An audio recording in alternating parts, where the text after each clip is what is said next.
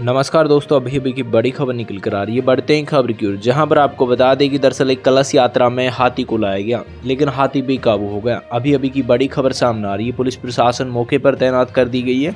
खबर उत्तर प्रदेश के गोरखपुर से निकल कर आ रही है, जहाँ पर मोहम्मदपुर माफ़ी गाँव में कलश यात्रा के लिए दो हाथी रेकून को किराए पर लाया गया। लेकिन उनमें से एक हाथी भाजपा विधायक विपिन सिंह का था, जिनमें से बताया जा रहा है कि वो बेकाबू हो गया। लेकिन इससे पहले बताया जा रहा है कि काफ़ी ज़्यादा भीड़ इकट्ठा हो गई। पांडाल में लगभग हज़ारों की संख्या में श्रद्धालु थे। इस दौरान वहाँ पर जानकारी के मुताबिक काफ़ी लोगों ने सेल्फी लेने का प्रयास किया तो एक लोग ने उसका सूंड छू लिया।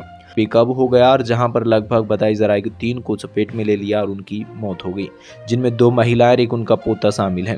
फ़िलहाल पुलिस प्रशासन मौके पर पहुंचकर आगे की कार्रवाई में जुट गया है। उधर मुख्यमंत्री सीएम योगी आदित्यनाथ ने पाँच पाँच लाख रुपए की मदद देने का ऐलान किया है। पुलिस मौके पर पहुंचकर आगे की कार्रवाई में जुट गई है। सो दोस्तों, प्रदेश भर की तमाम खबरों के लिए बने रहिए चैनल पर। नए विज़िट करें, चैनल को लाइक, शेयर, सब्सक्राइब करें। जय हिंद दोस्तों।